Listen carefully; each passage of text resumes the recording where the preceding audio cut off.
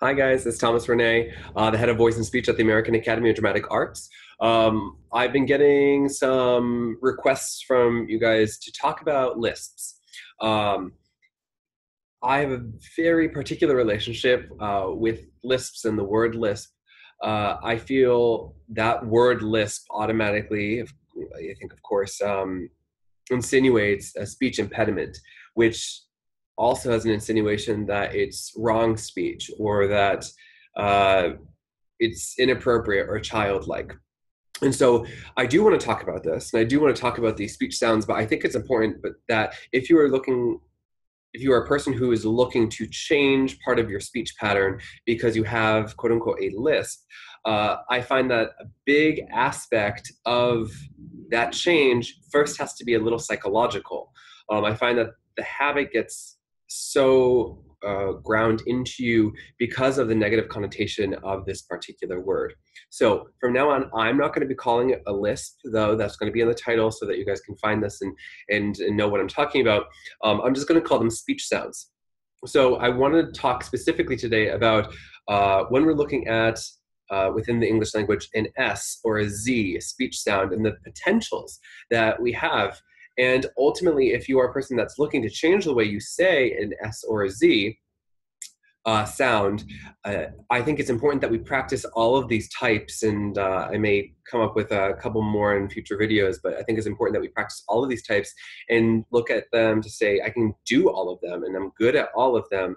And it gives you options so that you can change as opposed to psychologically beating yourself up over and over again saying no what i do is wrong and what i should do is uh, I just feel like in my ex- experience with students, that really actually makes the process a lot slower. So even though you might just be like, oh, just tell me what to do, can I just do it with my tongue? I think we do need to approach it in a very specific way, language wise.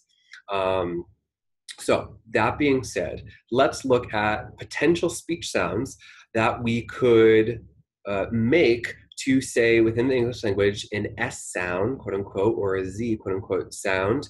Um, and I'm going to use two words, the, the name Sue, as in like Susan, and then the word zoo, like where there are caged animals.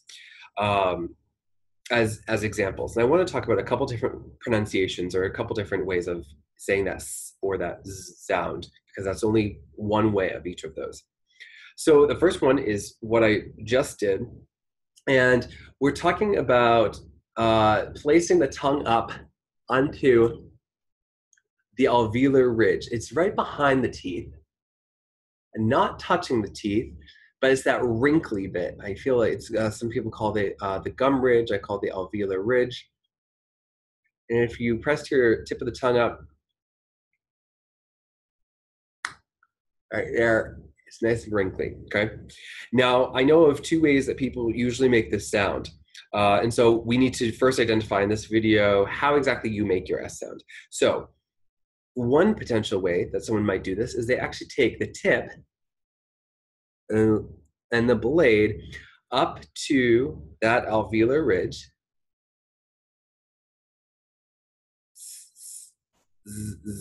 Sue, zoo, sue, zoo. Um, and so the tip is up.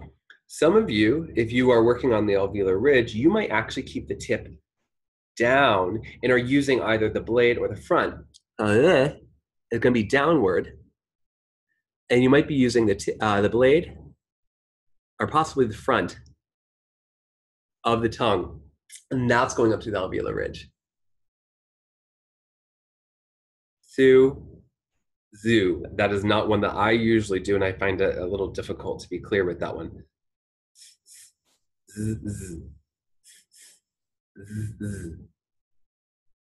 My tip is down for that one. So you may be a person who does that. Now I want to be clear when we're talking about Lisp, okay?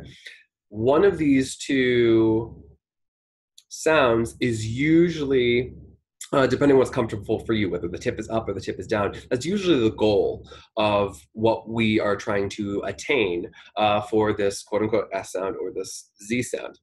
Um, so if either one of those things is not what you're doing, then you're just using uh, a different speech action. And I want to look at a couple other options that you may be doing. Um, but ultimately, as you continue with this playlist uh, and go along some videos to really investigate and practice different ways of pronouncing an S and a Z, um, ultimately you're probably going to want to be shooting for one of those two again depending whether you're comfortable with the tip tongue tip up or whether you're comfortable with the tongue tip down.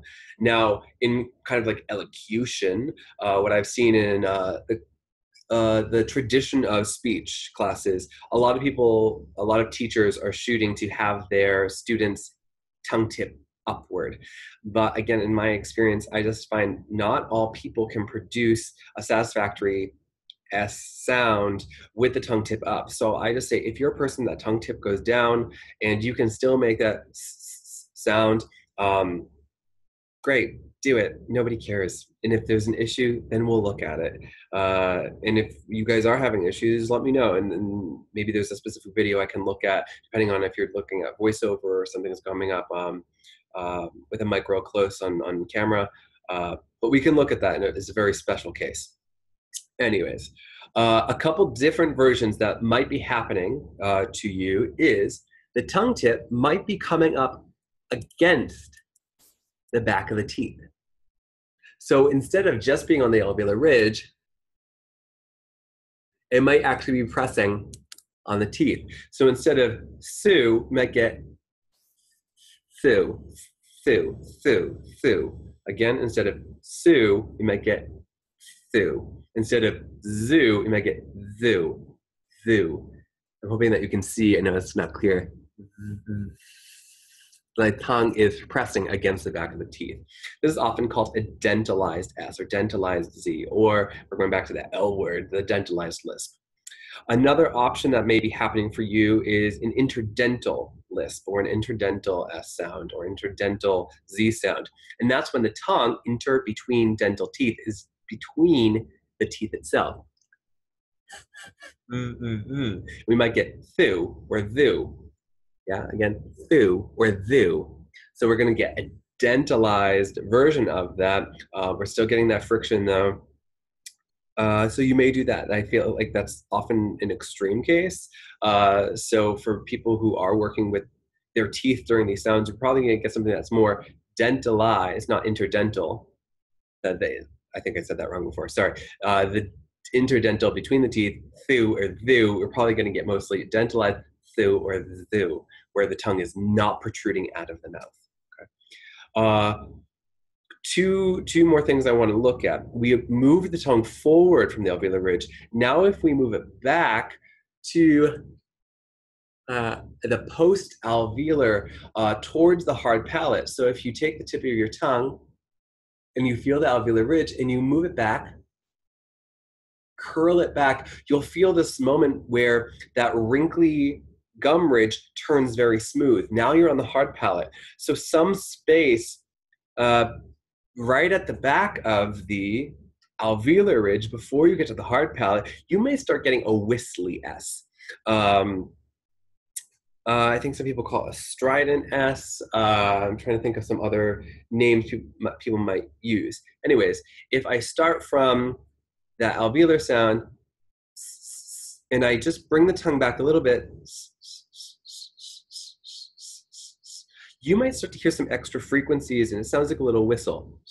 Sue, zoo, sue, sue, sue, zoo, as opposed to, again, on the alveolar sound, sue or zoo.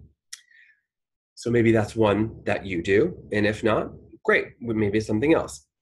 The last one I want to talk about in this particular video is a lateral lisp or a lateral S, lateral Z. Uh, and what that means is we're gonna get the tip and uh, blade of the tongue up to the alveolar ridge, like we did before. But now we're gonna have space along the side of the tongue. Yeah. And that's where the air is going to come out of. It's not going to move forward. We're going to keep that tongue tip up, and that air is going to come around the tongue. And so we're going to get shoo or zoo Sue, zoo. Su, zoo. Okay. So just to recap, so we can end this video, I really want you to first identify what type of sound you are actually making when you're going to say this S or Z sound. Is it purely alveolar? And is the tongue tip up? Su, zoo. Is it purely alveolar, but the tongue tip is down? Su, zoo. Is it pressing against the back of the teeth, the tongue tip pressing against the back, teeth? Su, zoo is it extending in between the teeth through thu? Is it pulling back almost onto the hard palate to make a whistly sound? Su, zoo. Or is it pressed up against the alveolar ridge and there's space along the side of the tongue to create a lateral sound? Su, su. Okay? Uh, and if it's something else, be sure to comment and message uh, yeah send a message to me so we can start looking at exactly what's going on for you. Uh, and then that will uh, help inform me how to develop some more um, tips and videos to add into a lisp a lisp playlist that's hard to say um, so we can start moving forward at perhaps changing a particular speech action that you may do when you're pronouncing an S or a Z. I hope you guys found this helpful. Um, if you like this, please feel free to like it and subscribe. Um, yeah, uh, check out the playlist that this is, this video is part of. So I'm going to be releasing more videos after this one, so that we can incrementally and uh, what's the word? Um, cumulatively be looking at particular skill sets to help you change speech sounds that would fall under that Lisp category. All right, awesome. I hope this helps, guys. Um, good to see you. I'll see you soon. Keep practicing. Bye.